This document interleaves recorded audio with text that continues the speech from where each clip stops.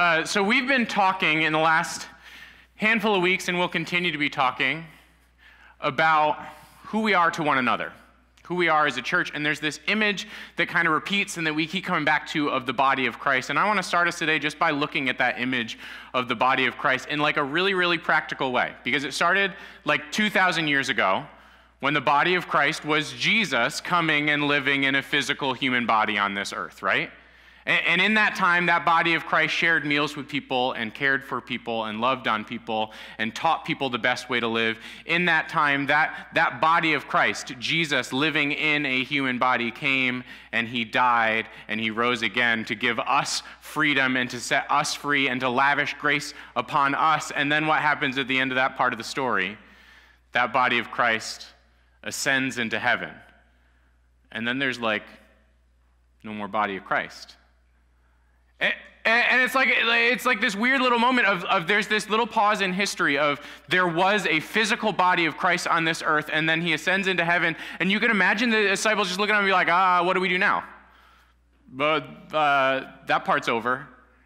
And then God establishes the next setup where his church, his people are set up as the physical body of Christ on this earth. And I don't think we can take those words too seriously. That, that your physical body becomes Christ's physical body, that the things you do can be the things that Jesus does for other people, that you get to be the hands and feet that we always talk about, but you can also be like the laughter or the yard work or the smile or the hug of Jesus. Like you have this ability to be the body of Christ, and, and even more than just you, that we united are the body of Christ. And there's this like beautiful, harmonious image of us all being able to work together of us all being united together, of everything working in this symbiotic relationship of we're, we're so united that it's not even that we're one family, we're like one body. And you can become so enamored of this image that then you actually take a minute and look around the church and you're like, ah, that's not always what I see. Like, like that image of everything working together perfectly can sometimes get in the way of the reality of sometimes you have jagged edges with other people. Sometimes there's people in church who you disagree with. Sometimes there's people in church who you just don't get along with. And that's just like the reality.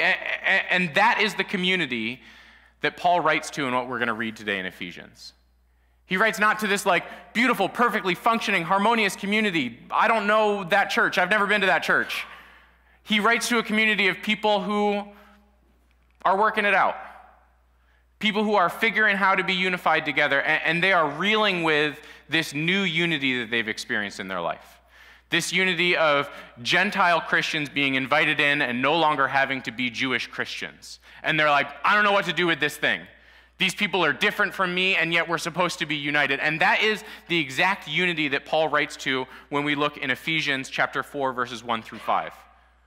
They're reeling with this influx of new ideas, of new ways of living, of just new ways of speaking and new ways of interacting, and the church growing and it's creating conflict and change like you guys have been here. That's the church that Paul writes to. Here's what he says in Ephesians 4, verses 1 through 6, actually. He says this I, therefore, a prisoner for the Lord, urge you to walk in a manner worthy of the calling to which you have been called, with all humility and gentleness, with patience, bearing with one another in love, eager to maintain the unity of the Spirit and the bond of peace.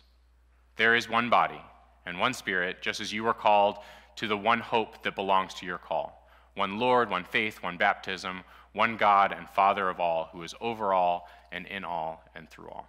This is the word of the Lord. Paul, Paul starts off this little part of the letter, which he actually repeats, repeated throughout the letter, to, to tell everyone like he's current, he's writing this letter from prison. This is Paul's thing that he writes so that you pay extra attention to what he's about to write because he's proved that he is such a hardcore Christian that he's currently in prison. So like you should listen to the thing he says.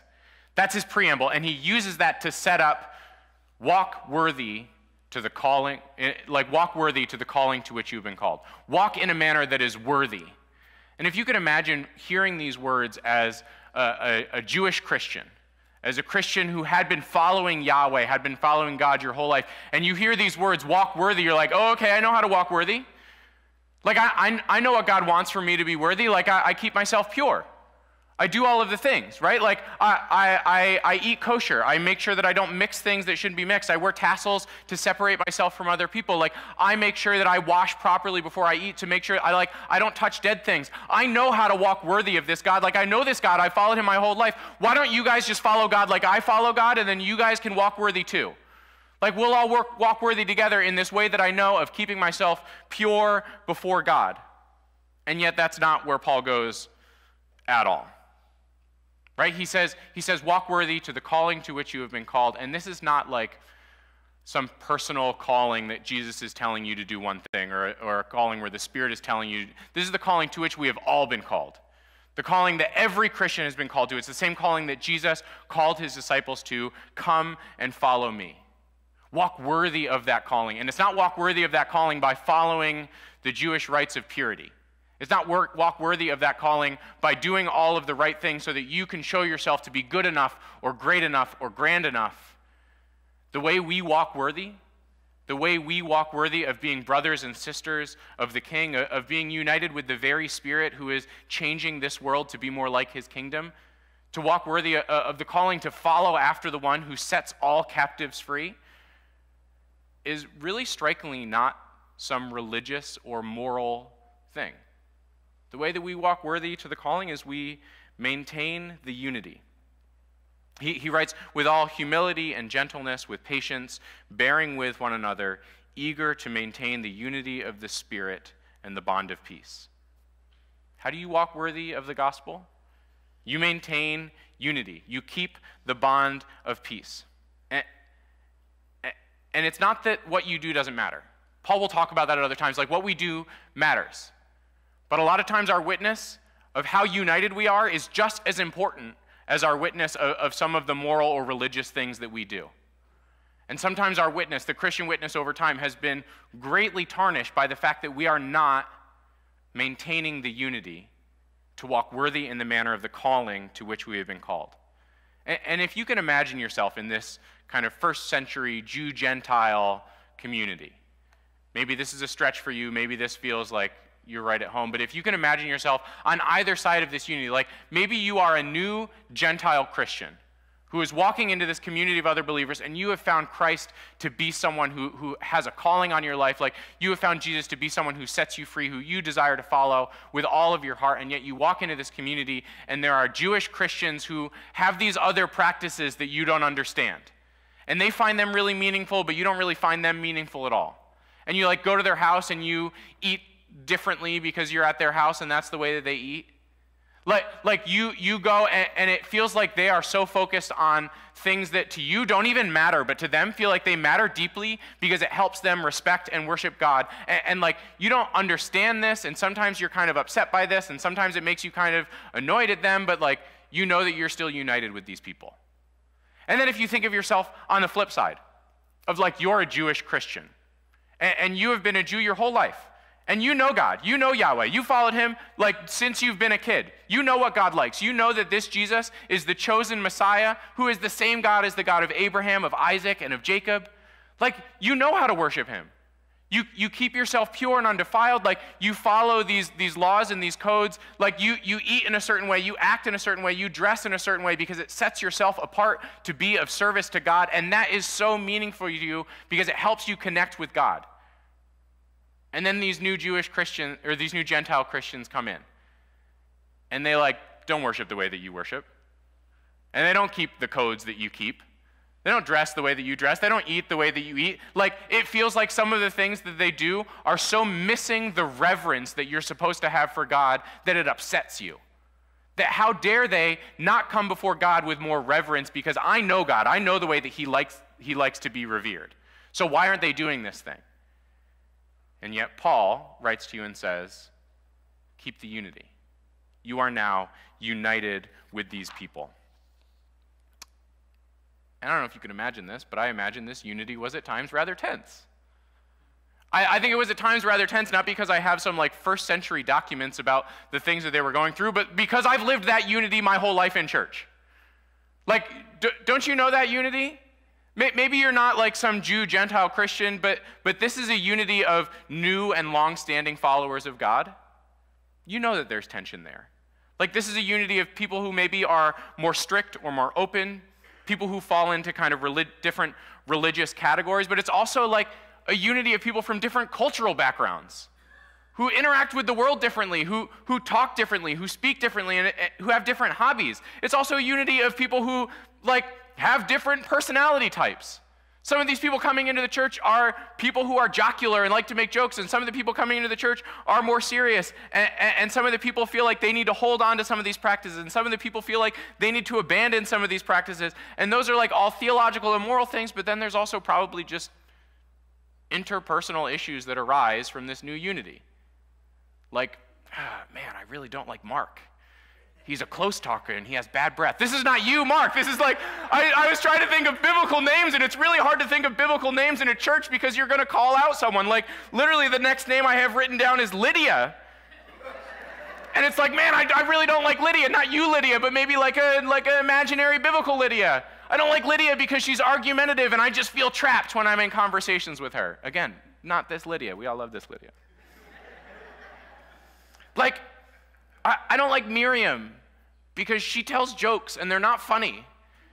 And I don't know what to do in that circumstance of like, do I laugh? Is laughing lying? Like, like these are these are those types of interpersonal tensions that exist when communities get together. And I imagine they had them because they're people.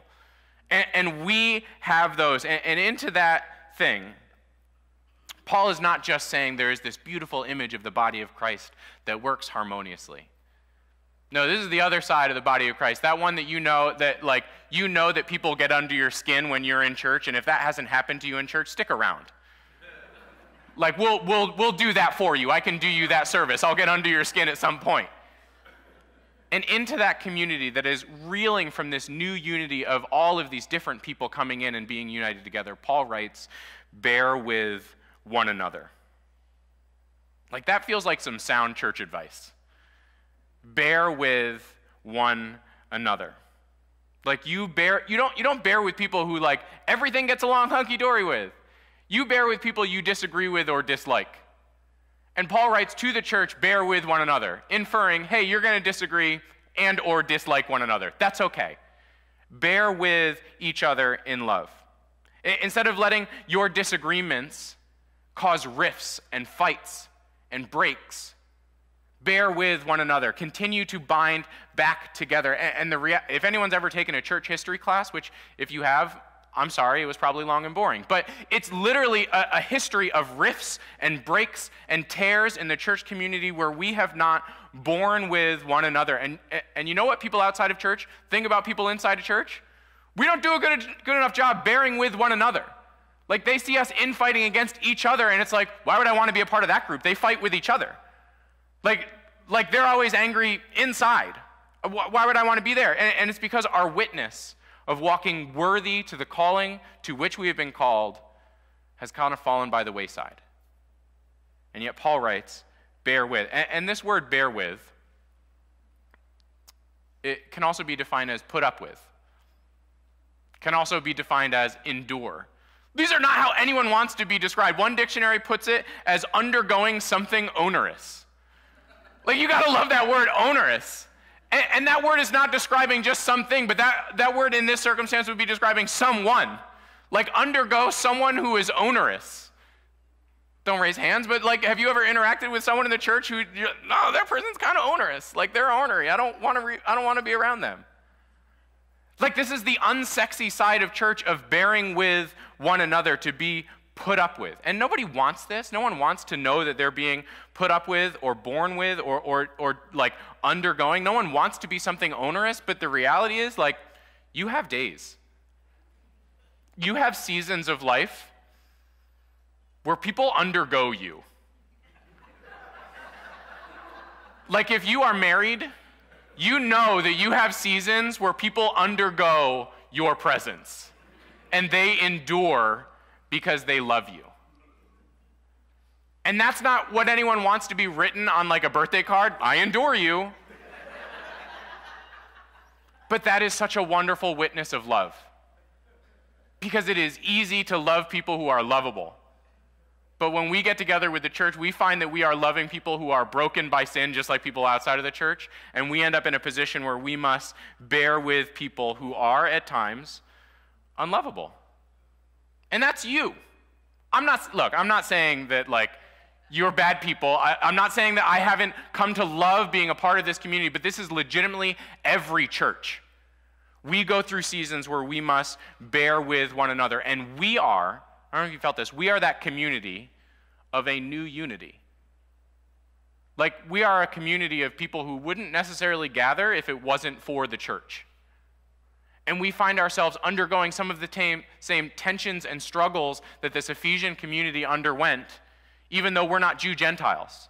Like we're a community of like boomers and Gen Xers and Gen Zers and millennials or whatever other generations they are. Like we're a community and a new unity of northerners and southerners like, we're, we're a new unity uh, of people who have different political views. Like, we are a new unity uh, of people who are uh, Caribbean Islanders or white bread folks like myself or uh, black Americans or Lat- Latinx people. Like, we're a community of all of these different backgrounds. We're a community of people who are more serious and people who are more lighthearted, people who are married or single or previously married or divorced or widowed. Like, we are, we're a community and a new unity of people who interpret the Bible this way and interpret the Bible that way.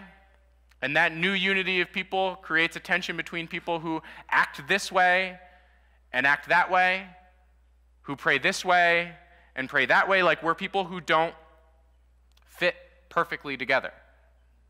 We're people who have jagged edges. We're people who tell uncomfortable or unfunny jokes, sometimes from the pulpit. Thanks. That's a pity laugh, but I appreciate it. Like, the, that's who we are. And we, when, when, when Paul writes, walk worthy to the calling, walk worthy to the gospel, it is striking to me that he doesn't say, walk worthy to the, to the calling, be righteous. He says, walk worthy to the calling, maintain unity, stand together. Like, I love that he doesn't just say, like, be united. Like when two kids are squabbling and you're like, sort it out, deal with it, just make it happen. Like, this is not something that someone snaps their fingers. This is not just some miraculous thing that happens outside of your action, maintaining unity. It, has this idea of like tending a garden. Like, uh, of this thing is, is, is fragile and easy to break, and you need to care for it. You, you know this. If you've been in church, you know that unity doesn't just happen, that it is not the natural byproduct of people getting together. If you've turned on the, no, in the news ever, you know that the natural byproduct of people getting together is fighting. Like, that's just the reality of, the world that is and the people that we are. And so, Paul calls us to maintain the unity. And this is like actual work. Like, you and I know that if we're going to be united with these people in church, like, there's going to be some conversations to be had. There's going to be some work to be done, but it's good work. It's like the work that marriage is, that it's not toil and labor. It is good work that produces a good relationship and that changes you in good ways. When we work to maintain the, the unity in the church, it is good work that builds good relationships and that will, in the end, change you in really good ways. And Paul uses these three words to talk about how we maintain the unity. He, he says that we need to keep the unity in humility and gentleness and patience. The reason they're being is because the opposite of these words breaks communities. Pride breaks communities. Harshness, bullheadedness breaks communities. Rush, unwilling to realize that good things take time, that breaks community. Like these things are church breakers. And, and, again, we can read these words through the lens of the new unity that they're experiencing and the unity that you and I are experiencing of being united as one church with people who are different from you in lots of ways. That, that each of these things takes the focus off of myself. That humility, gentleness, and patience take the focus off of proving my way, uh, of achieving my goals, of arguing for my thoughts, of getting my comforts, of speaking my mind. Instead, it focuses on the other person and what they need. Uh, I was reminded this morning in our small group that, that each of these words is, is a compassionate word.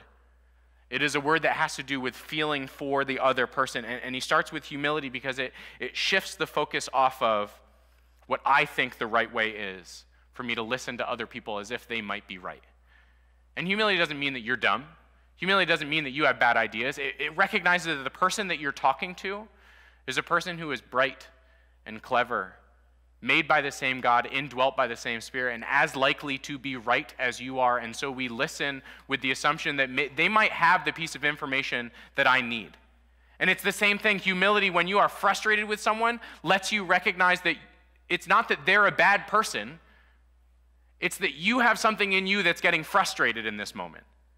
Humility shifts the focus off of myself and onto them so that I can care for them better. And it's the same with gentleness. Gentleness shifts the focus off of my feelings and what I feel like I should be able to say and what I feel like I should be able to do, and shifts the focus onto them and how they might receive it. Them and how my words might hurt or not hurt them. Like, gentleness recognizes that everyone is a person with the same baggage, vulnerability, ability to be upset as I am. And so, as I speak to someone and I speak in gentleness, I don't think about just what I want to say and how I can get it off my chest. I think about how they might receive it, that I can keep the unity, that I can maintain the unity. It reminds us that when we are broken down and someone has gotten the most of our patience, they're not a person to be yelled at, but a person who just might be dealing with their own stuff at that moment. And what they need more than us yelling at them or us proving them, proving them wrong is a little bit of space and a little bit of grace. And patience is the same way. It shifts the focus off of my timeline and my goals and my thoughts and what I want the church to be and what I want my life to be and when I want it to be that way.